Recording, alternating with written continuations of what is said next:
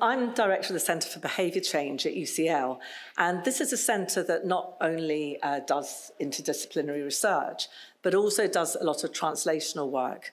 Um, so we do training, um, we have an MSc, but also we do quite a lot of policy work.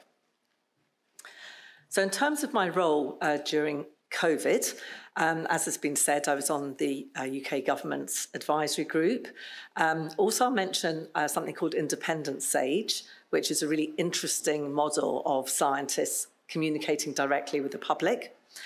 Um, I uh, also worked uh, for the WHO um, during COVID, and uh, Lancet had a commission, um, and uh, the, the papers published that came out of that commission. Okay, well, starting at the beginning, you know, why is behavioural science so important? Uh, it's at the heart of causing and transmitting uh, pandemic in infections, but also so many other existential threats. Uh. Um, climate emergency, antimicrobial resistance. Um, but also, it's at the heart of preventing and getting out of them.